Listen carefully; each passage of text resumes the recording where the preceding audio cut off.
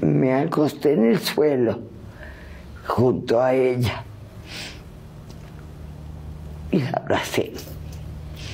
Y le dije, te voy a embrasilar, como siempre nos hemos embrasilado. Le abracé. La besé en la casa. Le puse un poco de maquillaje, muy linda.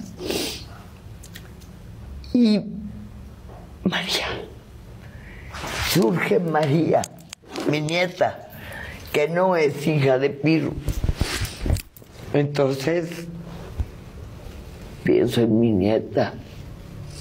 Yo no me puedo morir ahorita.